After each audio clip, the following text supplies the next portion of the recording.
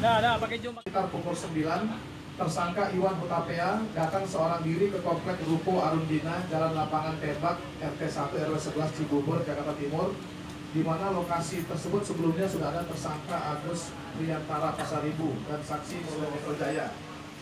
Korban atas nama saudara Komarudin, yang kedua saudara Wikonanda Maulana, tempat kejadian di kom- komplek Ruko Arundina, Jalan Lapangan Tembak, RT 1 RW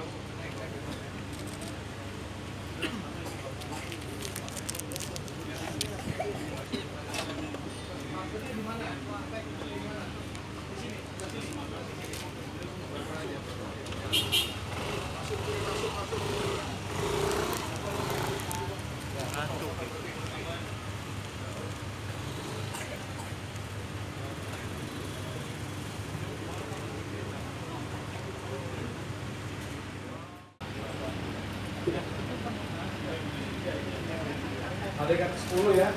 Tersangka IH cekcok ya. Cekcok dengan korban Komarudin